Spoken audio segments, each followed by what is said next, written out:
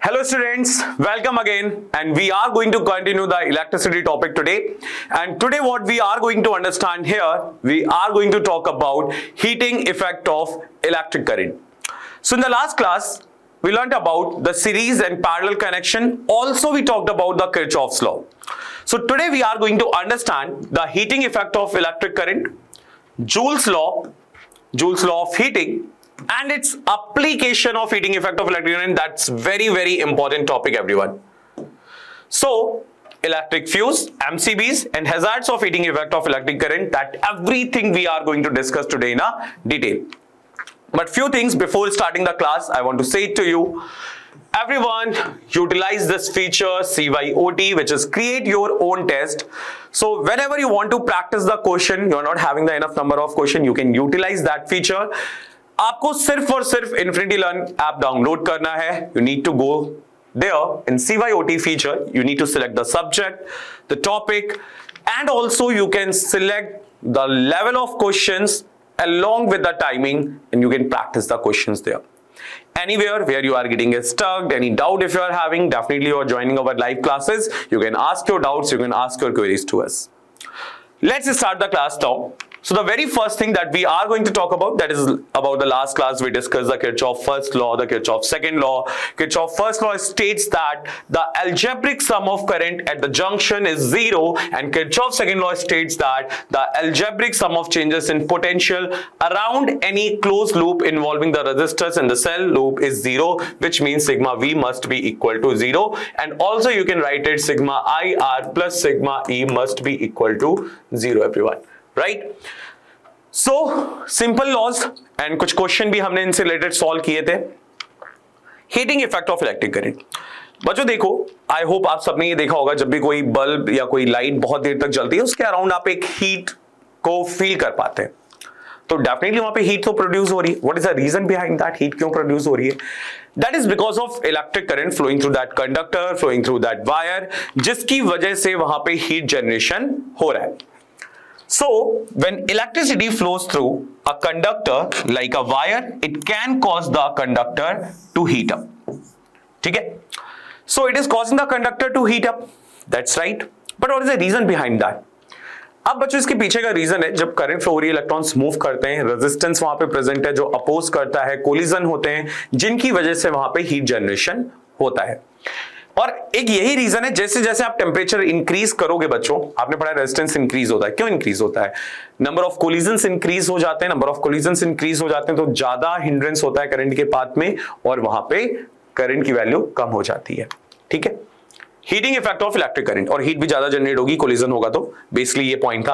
When a wire और device is connected to a cell और a battery for a long duration it undergoes heating and this phenomena is known as heating effect of electric current इस phenomena को हम क्या कहते हैं बच्चों? Heating effect of electric current we are calling it heating effect of electric current during this process electrical energy is transformed into the heat energy electrical energy किसमें transform हो जाती है बच्चों? हीट एनर्जी में वो ट्रांसफॉर्म होती है. Definitely यहाँ पे लाइट एनर्जी तो मिल रही है. But some part of that electrical energy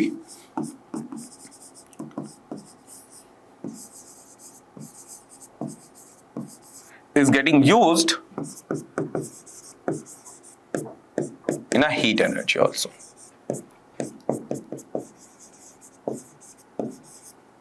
ठीक है? देखो अच्छा विजिबल नहीं हो रहा है यहाँ पे। दोबारा से लिख देता हूँ। The different colour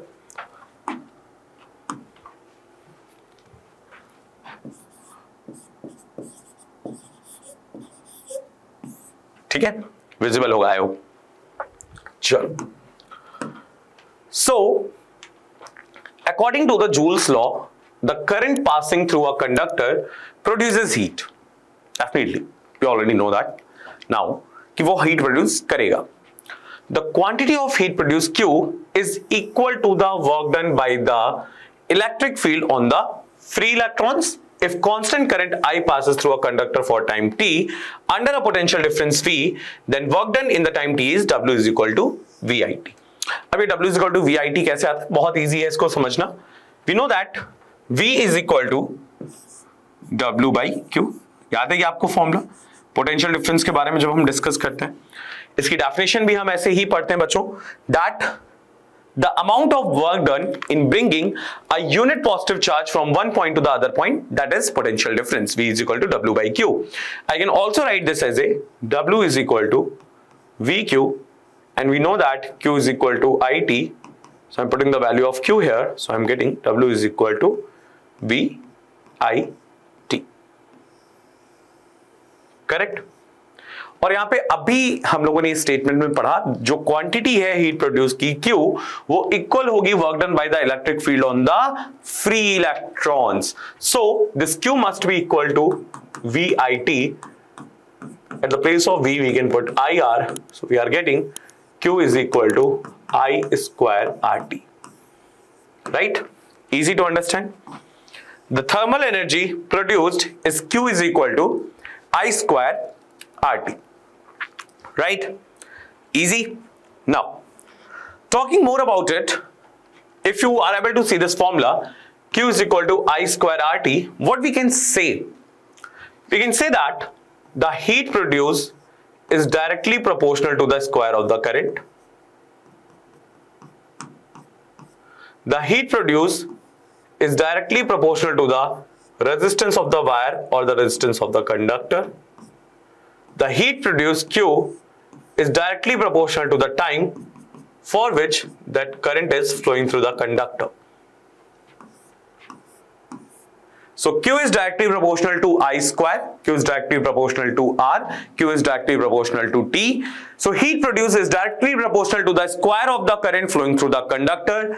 Heat produced is directly proportional to the resistance of the conductor and it is also directly depending on the time for which that current is flowing through the conductor or wire. So that is very very important to understand that Q is depending on these three factors the square of the current the resistance and also on the time for which that current is flowing through the conductor.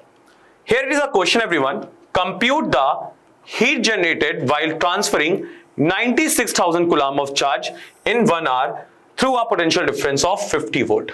So class you are having one minute of time to solve this and then we will discuss how we can solve this question. Quickly solve it everyone.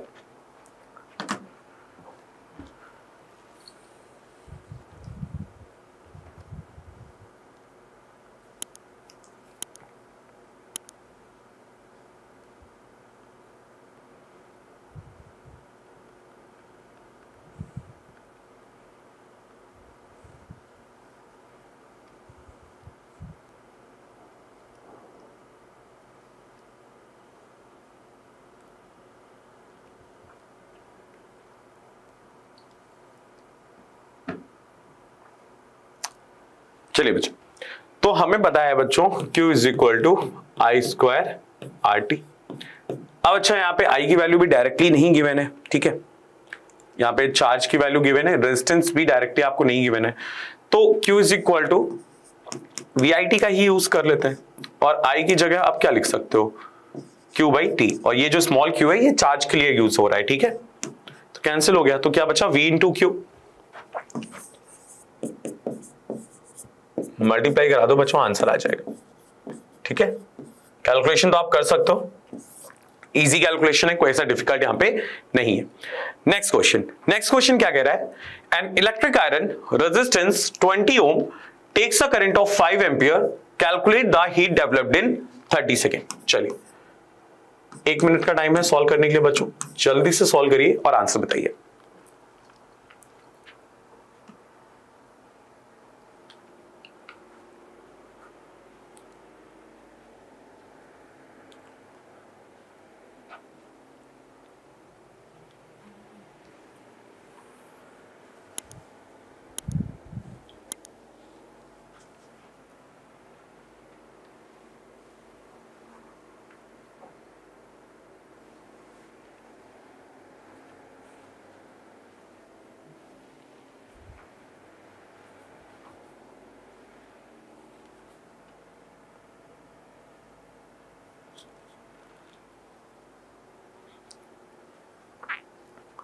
तो बच्चों, क्या given है यहाँ पे? Resistance की value given है आपको। 20 ओम। Current B given है आपको 5 ampere and time B given है 5 सेकेंड कुछ भी डिफिकल्टी नहीं होनी चाहिए यहाँ पे। Q is sorry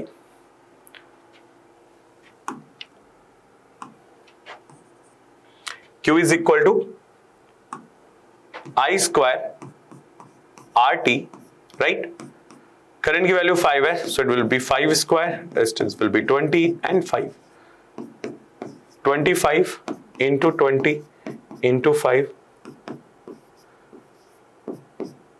100 तो कितना आ गया बच्चों?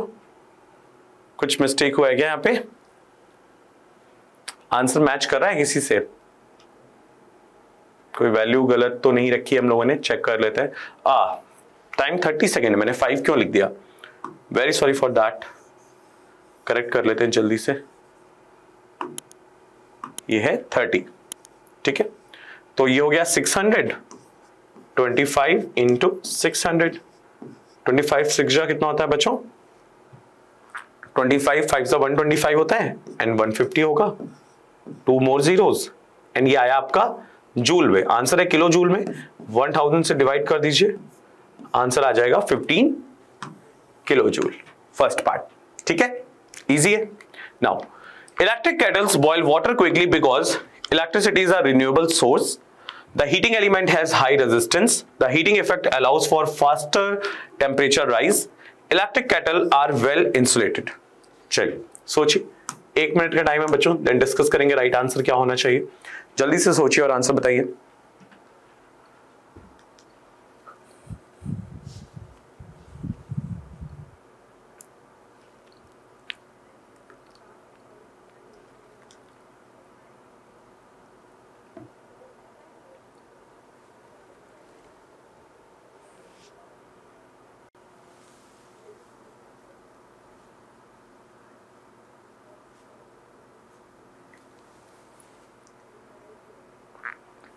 चलिए। तो बच्चों इलेक्ट्रिक कैटर में वाटर जल्दी बॉयल होता है डेफिनेटली वहाँ पे हीटिंग इफ़ेक्ट हो रहा है बिकॉज़ ऑफ़ किसकी वजह से? इलेक्ट्रिसिटी की वजह से। The appropriate answer which we can see here see the heating effect allows for fast temperature rise because of the heating effect of electric current simple a wire resistance 5 ohm carries the current of 2 ampere calculate the amount of heat produce in 10 second 30 second का ही time दूँगा चलिए 45 second का time है।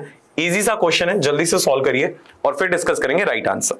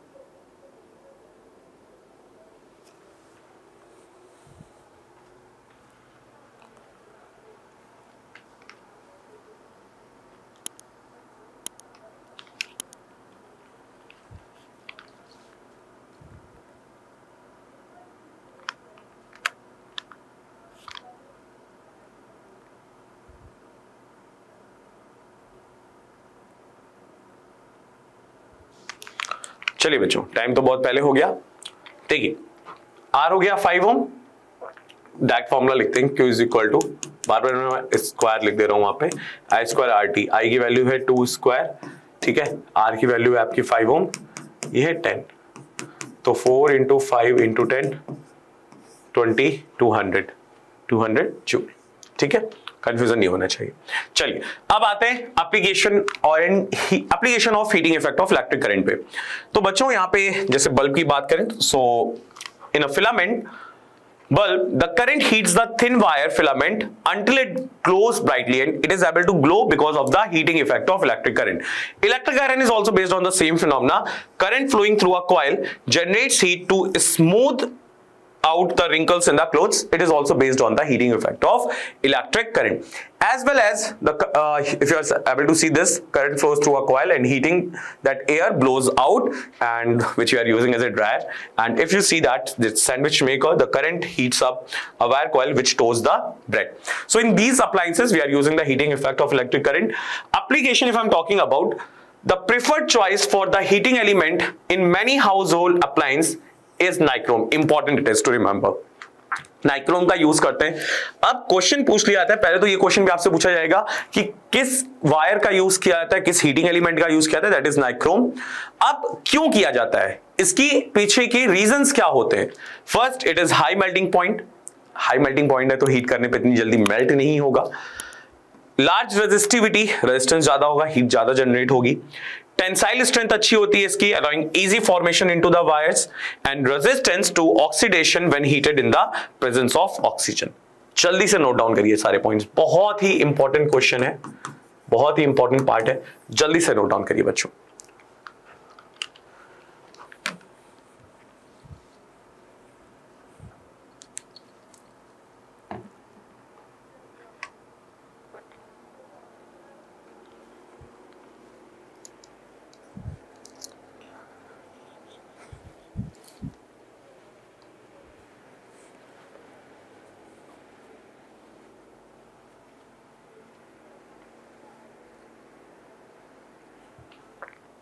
Okay चलें, आगे बढ़े। So application more electric circuits have a maximum safe limit for the current flow if the current exceeds this safe threshold the wires में overheat potentially leading to the fire hazard अब heating effect की वजह से बहुत बार नुकसान भी बहुत होते हैं। हीट होगा वायर हीट अप होगा तो उसकी वजह से वो फायर को कैच डेफिनेटली कर सकता है। ठीक है?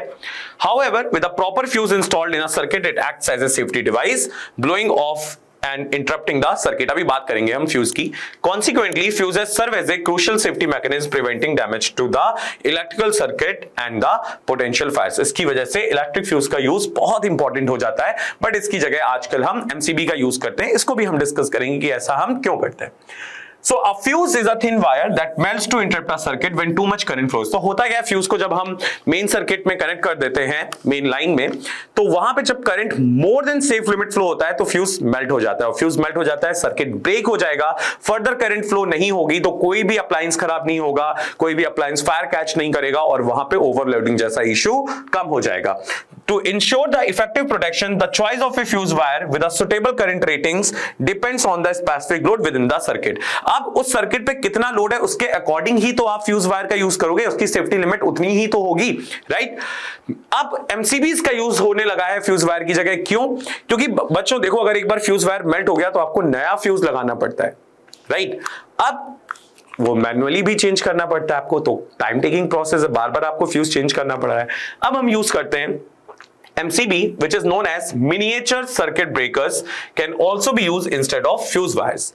MCB function as a switches that automatically deactivate when the current within the circuit surpasses the designated safe threshold. जब एक Designated safe threshold से ज़्यादा हो जाती है करंट की वैल्यू तो क्या होगा? एमसीबी खुद डीएक्टिवेट हो जाएगी या डाउन हो जाएगी। ट्रिप होना जिसको हम कहते हैं। फिर मैनुअली हम उसको ऊपर कर देंगे and it again working as a same so upon activation the switches can be easily reset to the restore circuit functionally okay so miniature circuit board interrupt the circuit when too much current flows Fuse versus MCB. Traditional fuses are one-time use safety devices that melt and break the circuit under the oven. Overload. Once damaged, it cannot be reused and needs to be replaced. Miniature circuit breakers are reusable switches that automatically trip and disconnect during the overload or the short circuits. ठीक है तो इनको use करना comfortably easy है. How does an MCB differ for from a traditional fuse? MCBs are more expensive but usable and fuses offer better protection against the short circuits. MCBs are more complex and require special tools to reset. Fuses provide a visual indication when tripped. 30 seconds you all are having to answer this question. Your time starts now and then we will discuss what is the right answer.